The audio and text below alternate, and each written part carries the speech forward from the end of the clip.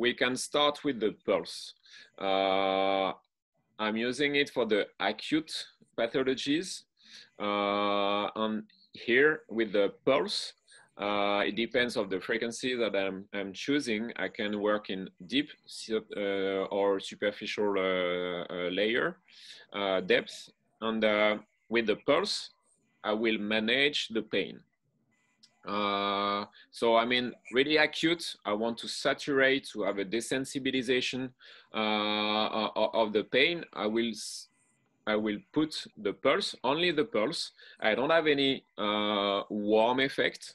It's only the, the, the saturation of the nociceptors uh, just to break down the pain. After that, I want to increase, uh, to, to stimulate the, the, uh, the microcirculation uh, because I want to activate a little bit the vascularization.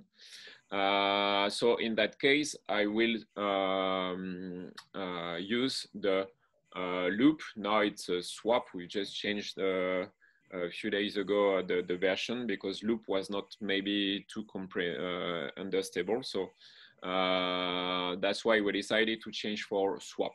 So swap means we're using the TECAR, then we're using the pulse, and then we're using the TECAR.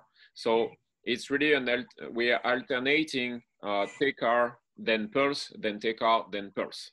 Uh, so this is why we have a fine management because we can decide to, to put a little bit warm, but when it's getting too hot, uh, because I mean really acute pathology, I'm switching to pulse. So with the pulse, I told you it's only the uh, the pain management, no hit.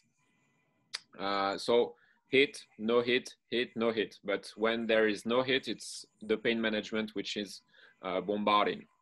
Um, so this is for the acute. Uh, after that, you have all the uh, subacute pathologies where you we'll use the TECARs that for this you already know uh, with the, it's similar to the Winback.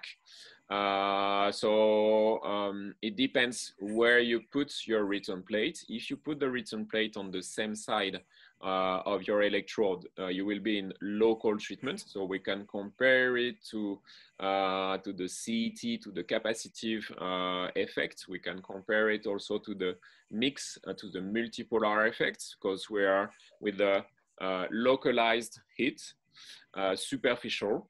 Um, with the same intensity, but just by changing uh, the, the, the, position of your return plate, you put the return plate in front of your electrode. In that case, you will be deeper. So in that case, uh, it's still the, the, the, same action, but it's a deep action. Uh, we are close to the resistive effect in that case. Uh, I can uh, treat more easily uh, the ligaments, the tendon, uh, the, in, the insertions close to the bone. Um, and after that, if I need to to to to uh, to stimulate with a big hit, uh, because I want to to drain, I want to work in deep contractures with the, for the stiff muscles uh, if you want to activate the deep vascularization, in that case, we will select the mix. So the mix is uh, at the same time, I'm using the high frequency on the low frequency. Uh, so I have the TECAR plus the pulse at the same time.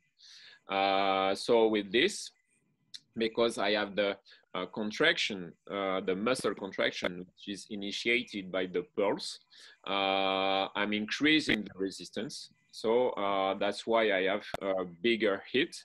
And this is the mode that I will choose when I want to drain. on the last one, the shock is only for the hyperthermia. So the shock uh, is the maximum uh, of uh, intensity with the maximum of intensity of pulse. Uh, so right here with the shock, yes, in that case, we can compare it to the uh, shock wave. Um, but the difference between the shock wave and the R shock, the shock with the R shock, is uh, that shockwave is more there to destroy the tissue and then we're waiting for a healing process. Right here, the shock uh, with the R shock is there to stimulate the collagen and to use the biological effects uh, and we're forcing the healing process. So that's where we are uh, in a different action, same effect, but different action. Uh, right here with the shock mode, uh, we have a healing process where the, um, the, the shock wave is more there to destroy and then wait to have the healing process. Uh, another big difference is that with the uh, R shock, we are not uh, uh, creating pain. It's not painful to use the R shock compared to the shock wave. Um, and uh, just to, to remind you why we're using the hyperthermia, so hyperthermia for two reasons. The first one is to stimulate uh, the collagen because we're reaching a very high temperature. The body is uh, protecting against this uh, very high uh, temperature and is producing a new collagen. Is there is a new uh, synthesis of collagen, and uh, the second reason we're using the hyperthermia, very high temperature, is because we're stimulating the uh, the peripheral peripheral vascularization. Uh, in this tissue, when you have some scars, the problem is that there is no more uh, big vascularization in this area because the, uh, the tissue uh, is blocking, uh, the, the scar is blocking the, the vascularization. So we only have the peripheral vascularization and right here. We're stimulating this peripheral vascularization to increase and to produce a new network of vascularization. That's why we're speaking about neovascularization. So that's the, the two main action that we're uh, trying to have with this hyperthermia.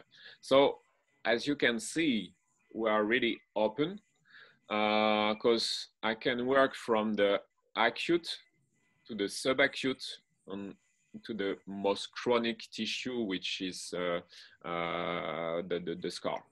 So that's why uh, on, on, all these um, pathologies could be treated with the R-shock in five to 10 minutes. Uh, most of the time, pain management, five minutes, the, the loop, the localized soft uh, warm effect uh, on the acute pathology, five minutes uh, right here, if you want to, to, to work in a superficial healing process or a, a deep action, five to 10 minutes. Uh, drainage uh, could be around five minutes. On the hyperthermia, less than five minutes. So that's why it's really important to explain that it's a new way to treat uh, with the uh, um, radio frequency and not with the therapy. It's a new way to treat with this product with the, uh, with the R-shock.